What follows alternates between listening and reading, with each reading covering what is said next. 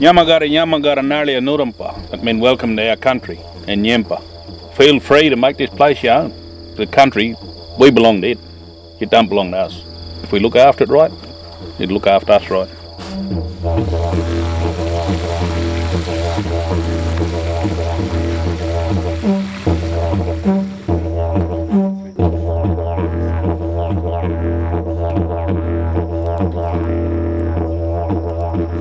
It's all about knowledge. I think it's up to us to start bringing that back now and start talking to the old fellas like Uncle Nevy and that. They, these fellas have been through this country as well. They burnt, they know it. Let's start using all that knowledge and bring it back to life and start getting people back on country. It's good to see the young fellas here as well. Connection for me is, you know, something that I don't want to lose. I don't want to lose that connection. The tendency since the white people have come is to suppress fire. So reintroducing the cultural practices and learn to be healthier for everyone. Just walk along. Just drop it. And yeah, it's nice and warm. You can walk straight around there if you want. Keep, keep it going.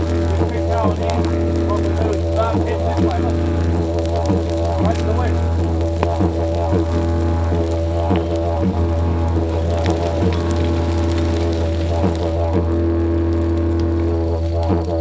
This cool burn, I reckon it was beautiful because this is exactly what it's all about.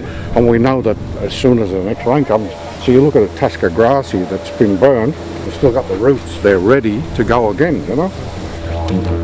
The primary objective of cultural burning is to really empower communities to, to practice burning on country, so access to country, ways of burning that actually um, promote the cultural values, but also plants and animals and why they're significant.